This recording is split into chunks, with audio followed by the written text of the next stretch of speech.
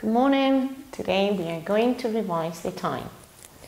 And when we have the long hand on the, on the left, we use to. and when we have it on the right, we use past. Okay, now let's practice it. What time do you have breakfast? And what time do you have lunch?